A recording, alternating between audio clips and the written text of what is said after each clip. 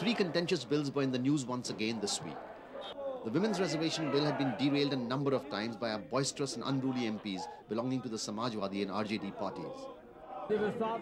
Last week, a physical tussle between the Trinamool Congress leader Mamata Banerjee and the Samajwadi MP Daroga Prasad Saroj had forced the Speaker to adjourn the Lok Sabha for the entire day. However, with the left front and the Congress party declaring its support, the Law Minister Mr. Thambidurai finally managed to table the bill in the Lok Sabha despite pandemonium created by opponents of this legislation. Critics were however skeptical whether this crucial bill which promises 33% reservation of all Lok Sabha and state assembly seats to women would actually get passed in this session of parliament.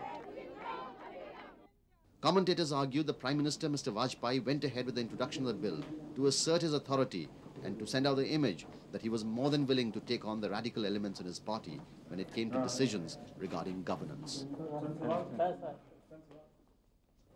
However, the Congress, which had sent out signals that it supported the bill, succumbed to pressures from within its own partymen and agreed to have the bill sent to a joint select committee of parliament. Congress leaders claim that they did so because they had differences of opinion with the BJP on specific provisions in the bill. Observers criticize the delay in the passage of this bill which would have ensured investments of billions of dollars in the infrastructure sector.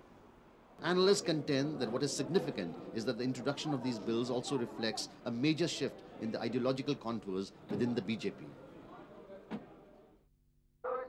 However, some experts feel that in the aftermath of the RSS Chintan Baithak or introspection session held recently in Nagpur, the battle between the hardliners and the moderates in the BJP has only just begun. The moot question is whether the parliament session will be extended to ensure passage of these crucial bills.